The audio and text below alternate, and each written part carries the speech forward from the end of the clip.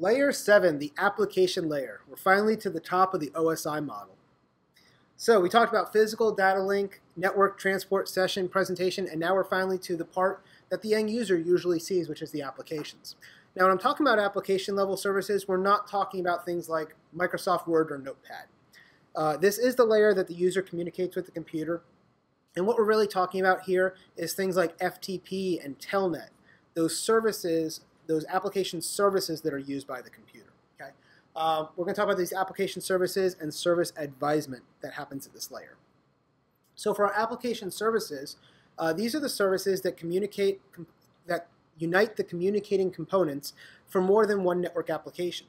So if I want to do a file transfer or file sharing, I might use something like File Transfer Protocol. If I'm doing email, what application would I be using?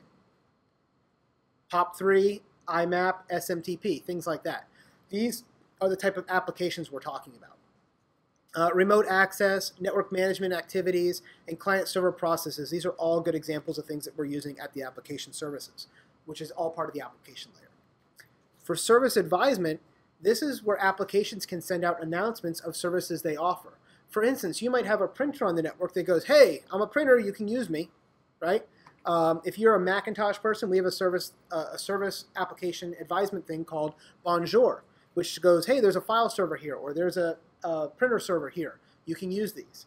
Uh, with Windows, usually this is going to be centrally registered with an Active Directory server in the network that then would do those advisements for you. Um, and these state the services that are offered. Generally, these are going to be printers and file sharing and things of that nature.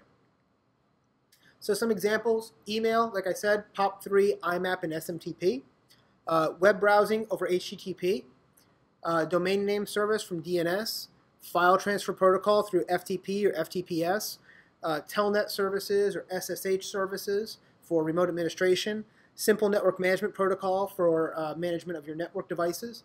Uh, and we'll talk about all of these later when we talk about network devices and ports later, or network protocols and ports later.